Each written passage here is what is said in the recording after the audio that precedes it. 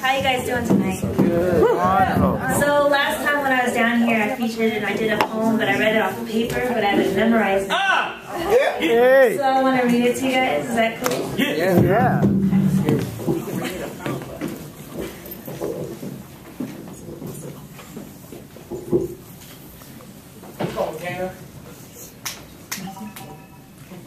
Haiku for humans.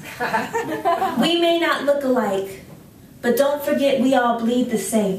Mm. Mixed girl is pretty and has good hair.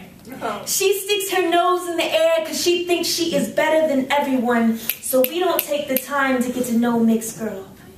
Mixed Girl is light skinned. She is a sin in some religions. Mixed Girl can cook. Mixed Girl can cook because Mixed Girl has always been Master's favorite, and Master's favorite will always fit well into corporate America. Mixed Girl gets the best of both worlds. Mixed Girl is white outcast at family reunions. She is black gossip at family barbecues. Did I tell you Mixed Girl gets the best of both worlds? Ah, mixed Girl is mixed breed. Mixed breed is mutt. Mutt has no soul, so these words don't hurt Mixed Girl. Did you notice how I talk straight for a mudblood?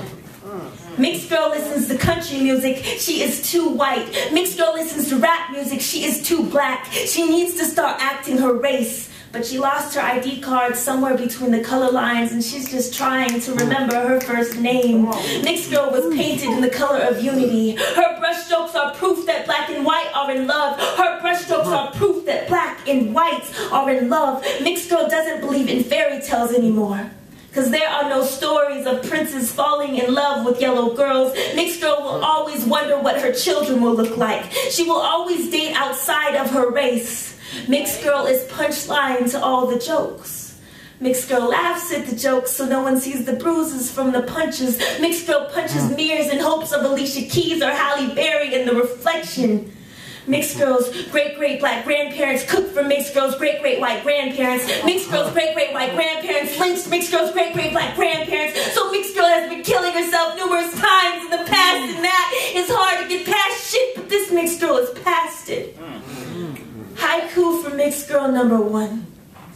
Born black and white like old movies, so color has no meaning to me. Mixed girl is the black and white piano keys with no melody. She is a self-contradiction. She is the obligated love from a black slave to her white child. Mixed girl used to wish for black hair so she could fit in on occasion with her cousins. And when that didn't work, she played for blue eyes and the skin color of Caucasians. Haiku for mixed girl number two. Mixed girl is the unbalanced tension in between two realities. Haiku for mixed girl number three. Even after this poem is read, I will always remain unresolved. Yeah.